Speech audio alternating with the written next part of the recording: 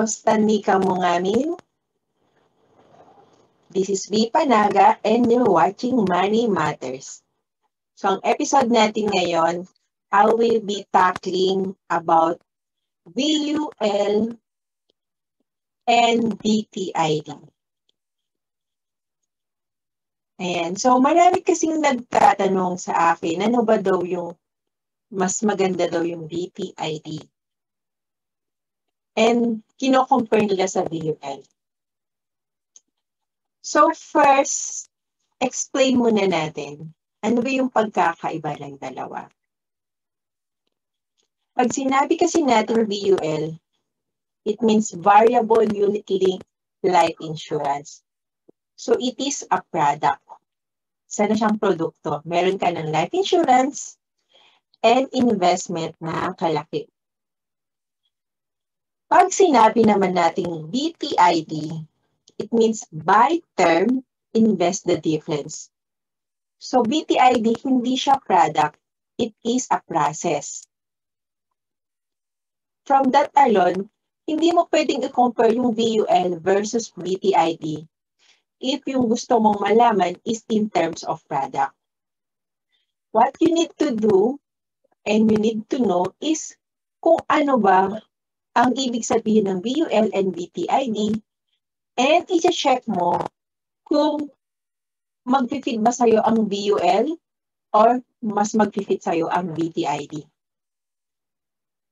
Kasi comparing them directly, hindi siya magiging justifiable dahil ang VUL is a product. BTID is a process. So kapag magko-compare ka, it should be apple to apple. Hindi pwedeng apple versus sunkiss or orange. So kailangan pareho.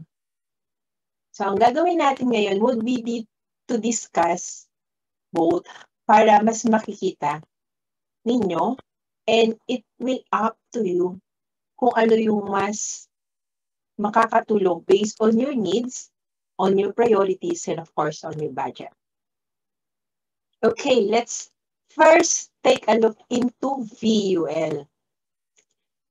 Ang VUL kasi, yun yung latest na naging product in the life insurance industry. It was pioneered by PruLife UK. That was on 2002.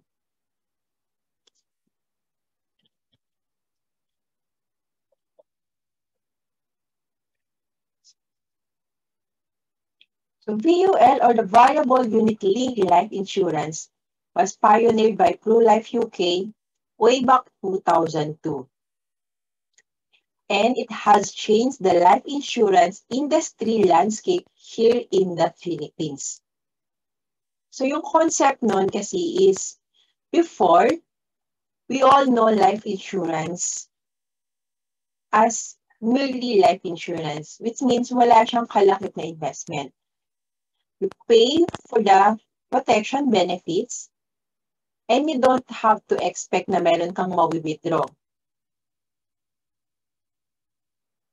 Since the inception of VUL, doon nabago yung life insurance industry landscape natin sa Philippines. And mas nagkaroon ng interest ang ibang mga tao since merong balik yung pera nila. Dahil alam naman natin na mostly gusto nila na enjoy nila yung money nila habang sila ay buhay pa. So yung concept ng VUL is you have an insurance coverage protection while some portion of your premiums also can be invested.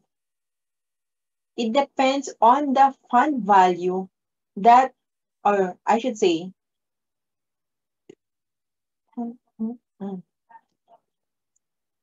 so with the VUL, portion of your premiums, when we say premiums, yun yung amount ng binabayaran mo pinaka-savings mo when you buy a life insurance policies. So instead na purely para sa protection mo, portion of it will be placed into investment. And meron tayong iba't ibang fund na pwede kang mag-invest. So it will depends on the risk appetite of the client. Then we can recommend kung ano yung mga funds na pwede niyang i-invest. So what are the funds na pwede siyang mag-invest? We have bonds, we have stock market, So, meron tayong mga iba't ibang portfolio na pwedeng mix up ng iba't ibang bonds, stock market, and many others. So, yung VUL is a life insurance product. Pag sinabi nating VUL, since meron siyang kalakip na investment, hindi mo siya dapat iisipin na investment product solely. Kundi, part lang is for the investment. Remember, when you have a life insurance policy, meron kang tinatawag na guaranteed protection benefits. And that guaranteed protection benefits is available even if 90 days ka pa lang nagsisave, if biglang nagkaroon ka ng, for example, critical illness, kung magkano yung maximum amount na nakapaloob sa yung policy, makukuha mo na siya. Hindi mo na kailangan antayin na matapos mo yung paying period mo. And because of those guaranteed benefits, meron tayong tinatawag na charges. So yung mga charges na yun, is continuously na madededuct hanggang ma-expired yung tinatawag nating benefits. So, ang tanong na malamang naiisip nyo would be, if nagamit mo ba yung guaranteed protection benefit, maapektuhan ba yung iyong funds? So, hindi. Kasi ang VUL, separate po yung component for the investment ang guaranteed protection benefits, kahit na nagamit mo siya, hindi mababawasan kung ano yung kinita ng fund value. But since it's a VUL, ang isang consideration mo dyan would be the fund value.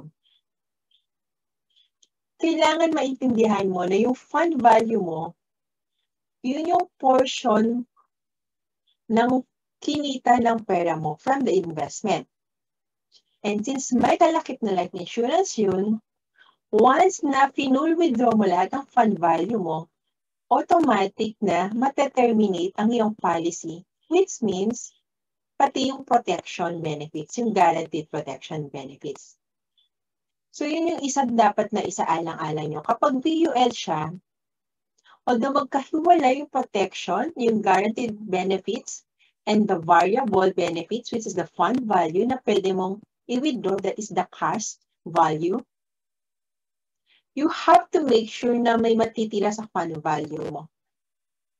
Para sa ganun, may enjoy mo pa rin yung protection benefits na guaranteed. Okay, how about BTID? Since BTID is not a product, it is a process. So, ibig sabihin nun, kung gusto mong magkaroon ng life insurance and you choose to do yung BTID since it's a process, meaning you will only buy a term insurance.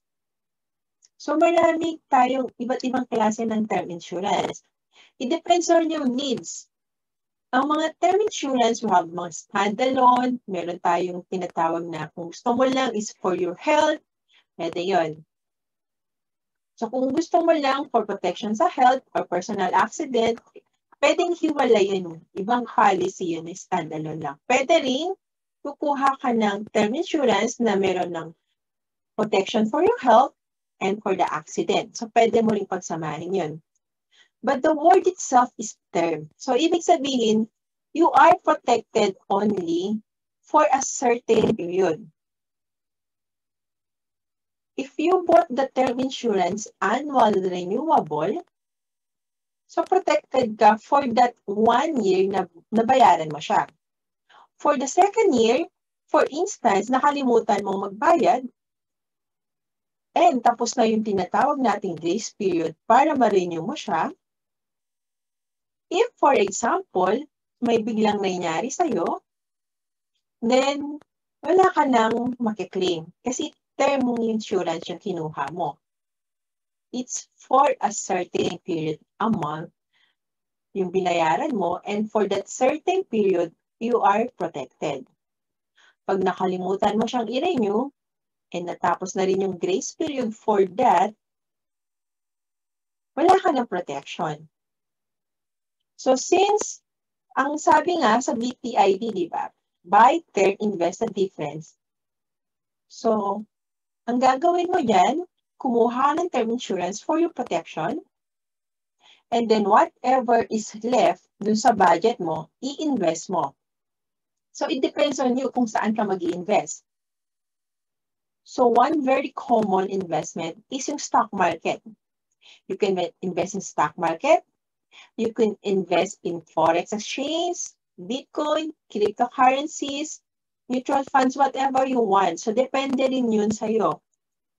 Pero kailangan meron kang sapat na kaalaman sa bawat investment na mag invest ka since you will be doing it yourself. So it depends sa personality mo. Do you have enough time na gawin yun? Kasi since you are the investor, kailangan may time ka. Kailangan aralin mo yon. Kailangan meron kang systematic way na in a way, mamomonitor mo yung investment mo. Because you will be the one doing the buying and selling. So I know it kasi I am also investing and managing my own stock market. So I've been doing it since 2015. I have tried to become a passive investor and at the same time an active investor. So pag sinabi kasi nating passive investor, yun yung constantly lang, maglalagay kang monthly, and then i-check mo lang. Hindi ka yung daily na nag-check, and then hindi ka rin yung daily na nagbabuy and sell. So, hinahayaan mo lang yung pera mo and you are doing the cost averaging. So, nung ginagawa ko naman yung active trading, that is for a day, hindi lang isang transaction yung ginagawa ko. I can buy and sell as much as ilang shares of stock, kung anong company yung gusto ko. And of course, since I'm doing it myself, magre-rely din sa capability ko yung returns and yung timing ng pagbabay and sell ko. So lahat ay natututunan. Pwede nating matutunan lahat. Kailangan lang may discipline ka. And syempre sa umpisa, kung umpisa ka pa lang na mag-invest, you also have to check yung money, amount ng money na in-invest mo. It should be an amount na kung malugi man lang, wala siyang return, is makakatulog ka pa rin sa gabi at hindi ka mahirapan. So based on my experience, it should be something na amount na hindi ka mahirapan dun sa mga gastusin mo or in simpler term, yun yung amount na kaya mo na mawala. So, hindi yung, ito yung ano ah, yung budget mo na supposedly gagamitin mo for the full month and then in-invest mo. So, wag ganun kasi paano kung malos ka? Since I also know how to invest in stock market my own, Siyempre, nagbabasa ako, nagtitingin ako sa YouTube, and I also joined a group na nagbibigay about dun sa strategies. Still, na-experience ko din ang magkaroon ng losses. So, hindi yun na naiiwasan na may mga losses, may mga ups and down. But again, it will depend dun sa investor kung ano ba talaga yung kanyang goal.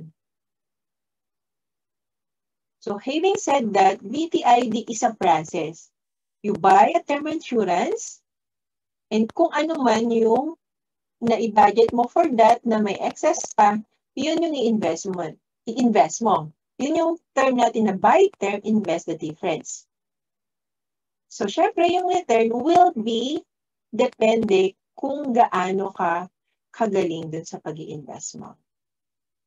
Okay, para mas magiging clearer sa inyo, I have created a comparison based on dun sa client ko who also asked about what is the difference of VUL versus PTID. So of course, I always want kung ano yung best sa kanya. And then, I try to make a comparison based dun sa kanyang existing VUL and what if nag-BTID na lang siya. So, para lang for the sake of comparison, although hindi talaga kasi siya masasabing apple-to-apple -apple comparison, we'll just take a look kung ano ba yung ano, ano ba yung mas malaki yung premiums when it comes to dun sa protection na VUL and then BTID. Ano ba yung mas malaki yung returns niya? So for the sake of comparison, I will be using a 10% return for the investment. And as much as possible, ito try natin na yung gastos niya sa kanyang VUL would almost be the same dun sa BTID niya.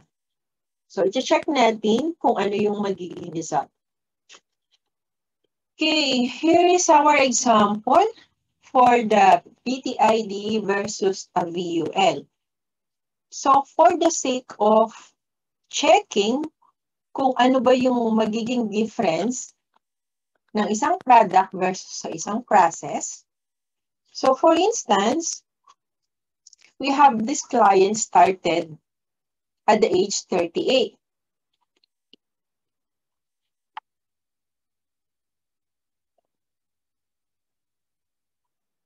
And let's say, mayroon siyang VUL. Ito yung protection benefits within 1.1 million. ADD stands for accidental death and disablement, which is 800,000. CCB means crisis cover benefits with 1 million coverage. TPD stands for total permanent and disability and meron siyang 800,000 coverage. So at the onset, he's paying 24,000 pesos. Since it's a VUL, kahit na tumatanda siya, all throughout, 24,000 pa rin yung babayaran niya. So let's compute lang for 15 years para lang makita natin how much will be the premium. So yung premium, yun yung amount ng binabayaran niya. It is the amount ng savings niya na binabayaran niya para makuha niya lahat itong guaranteed protection benefits na readily available sa kanya. What if BTID yung ginamit niya? Okay.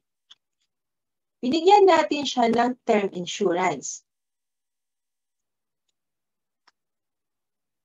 And as much as possible, kailangan pareho din halos yung amount.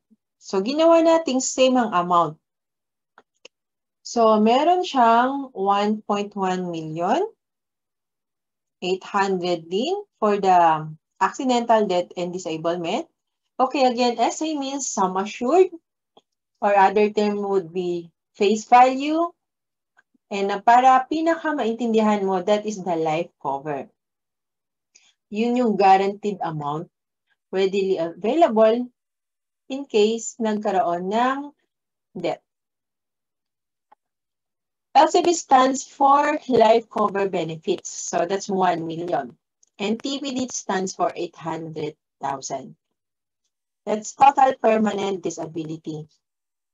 Okay, these are both life, LCB and CCB both for health, critical illness. So the main difference is mas malaki ang coverage ng LCB, that's the life per benefit versus the critical crisis cover benefit. So the onset, mas mura. Mas mura yung babayaran ni client. Kasi it's a term insurance. So for the first year, you just need to pay 23,000. So meron siyang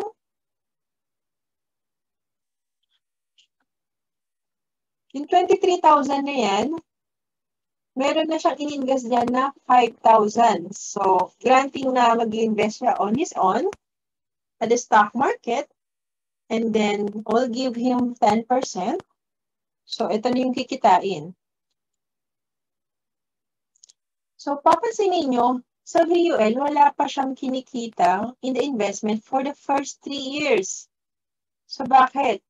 Kasi kung papansinin mo dito, ang premiums niya is very minimal. And yet, malaki agad yung protection coverage.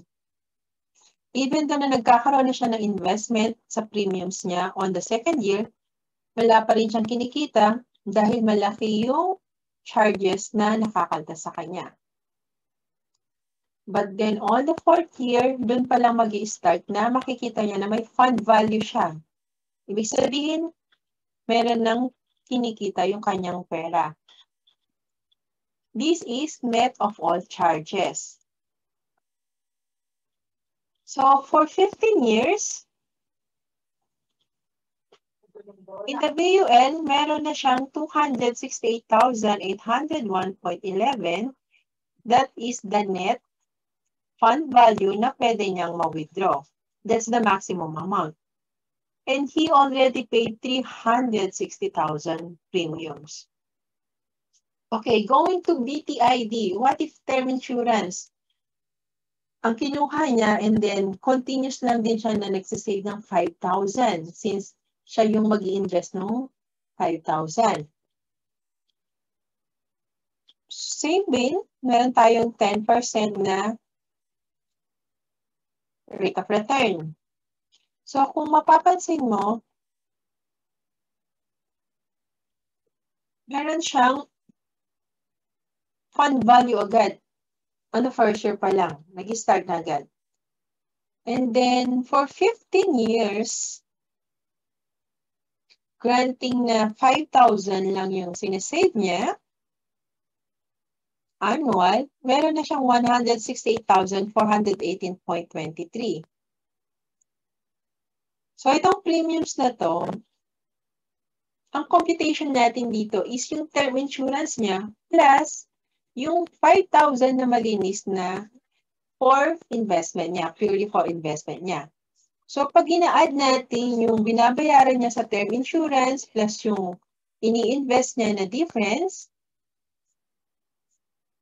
pagdating ng 15th years, ang total na niyang binabayaran would be 409,670,000.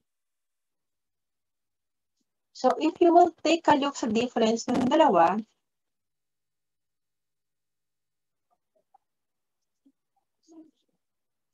looking for the long term, mas magbe-benefit siya in his VUL account. For the short term, say 5 years, mas makakatipid siya sa kanyang term insurance. But if he wanted to continue his protection all throughout for 15 years, mas mahal ang term insurance. Okay, let's take a look for what if nag-start naman sila at age 30. So for age 30, Ayan.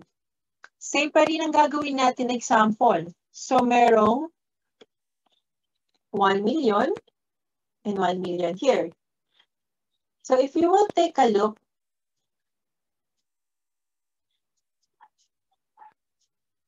for 15 years,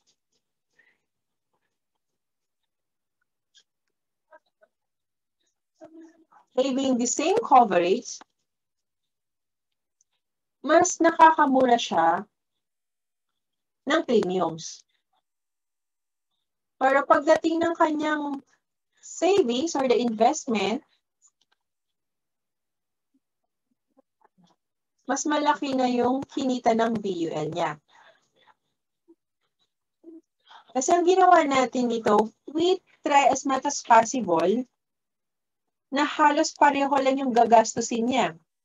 Since BTID is a process, ang aim kasi ng BTID na la, lagi nila tinatanong or laging uh, sinasabi na, hey, mas mura ang BTID. Okay, ano ba yung mura sa tingin nyo? So, for the sake lang na makita yung amount, so ang gagawin natin would be give them a term insurance plus yung difference na i-invest nila. Ibigyan natin ng 5,000 na difference na i-invest. So, ito total natin siya. Ito yung term with 5,000 na i-invest nila. Para halos maging malapit lang dun sa kanyang premium sa VUL. So, kung papansinin mo, since ang i-invest niya lang is an amount of 5,000 each year. So, ito yung magiging returns for 15 years, around 168. And ang total na nilabas ng pera niya is 238,975. Whereas here naman, since uh, VUL na siya, may investment component, 270,000. But the return is much higher. So, if we want to compute the difference na nilabas nila,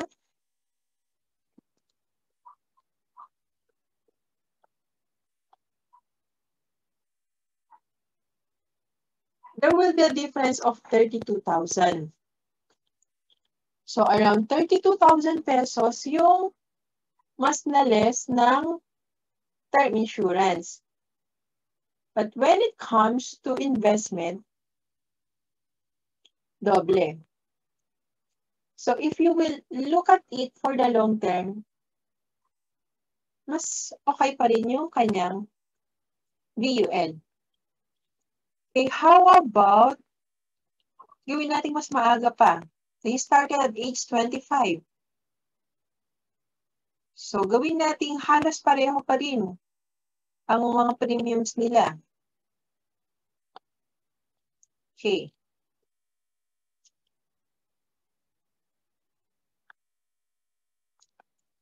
So obviously, mas nakamura siya when it comes to total premiums for the term. And since ini-invest na lang yung kung ano mang ang difference, so ito yung kinita niya ng sarili niyang investment. And for the VUN, since 2-in-1 na siya, kung papansinin mo, yung kinita ng funds niya, nabawi na lang din niya sa amount, total amount of premiums niya. So if we'll take a look at this, ano ba yung mga difference? So after 15 years, basically kapag ang premiums yung pagbabasehan mo, mas nakakamura sila at the onset kapag term. But you have to put in mind that as you ages, yung charges talaga tumataas yan. So, pag term insurance, siyempre, tataas din yung babayaran mo gradually. In the long term, if you want to check yung investment component niya, kasi as much as possible, ang gusto mo dito is halos pareho lang yung amount ng nilalabas na money. So kung papansinin mo, based on our three comparisons, pages 25, 30, and 38, the VUL, dun yung malabas the yung investment is for capital appreciation. If you take a look at this, nabawi na niya yung pinayaran niya for premiums. Kasi mas malaki na yung pwede niyang i-withdraw. And the good thing is, nandito pa rin yung guaranteed protection benefits na kahit na after 15 years makalimutan niya mag-pay, still in force. Nagagamit niya pa rin. But what if sa term insurance, after 15 years, on the 16th year, nakalimutan niya mag-renew? the sad thing is, kapag biglang nagkasakit or na-aksidente si client, hindi na niya makiklaim ang guaranteed protection benefit. Kasi hindi niya na-renew. It's a term kasi eh, renewable. Yun yung disadvantage. And yun naman yung advantage ni VUL. Kahit na nakalimot ka, since meron kang fund value at hindi mo siya na full withdraw, example, kahit na nag-withdraw ka pa dito ng 200,000, may maiiwan pa rin ng 100,000 kahit nakalimutan mo magbayad, and bigla kang nagsaka, nagkasakit, yung guaranteed protection benefit, you can still get it, use it. Makaklaim mo pa rin siya.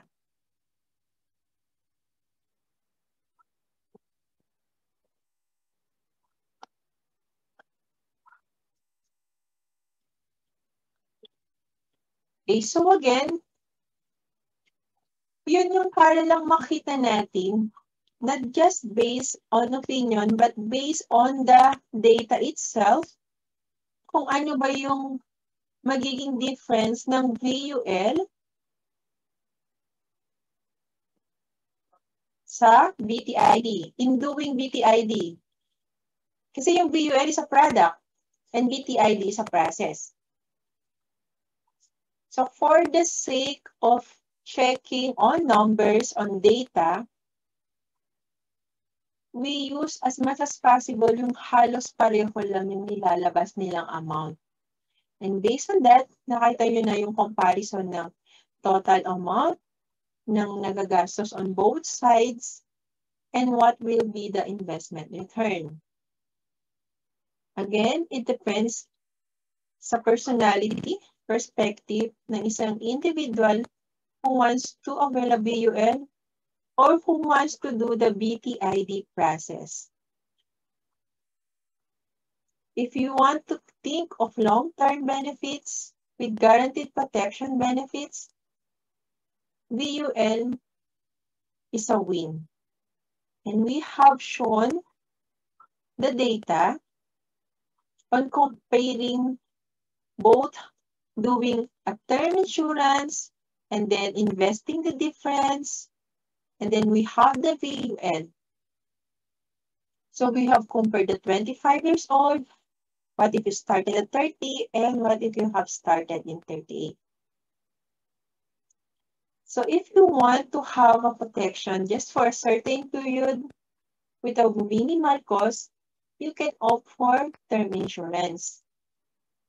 If you want to have a long-term protection benefits, na kahit na nakaligtaan mo, for instance, for a year na nagbayad after paying for 15 years or 10 years, na for sure na meron ka pa rin guaranteed protection benefits, then you can opt for VUL. Ayan. So for sure, this presentation that we have shared and a discussion that I have shared help you to know what is meant by VUL and what is BTID. So again, VUL is a product, BTID is a process. Maraming salamat sa panonood sa episode natin answering VUL versus BTID. Feel free to comment below and kung may katanungan kayo. And for other aspect of financial planning, feel free to email us at futurebuilder20 at gmail.com.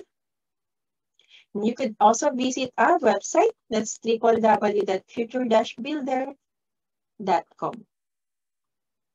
Hanggang sa muli dito sa episode natin, here on Money Matters.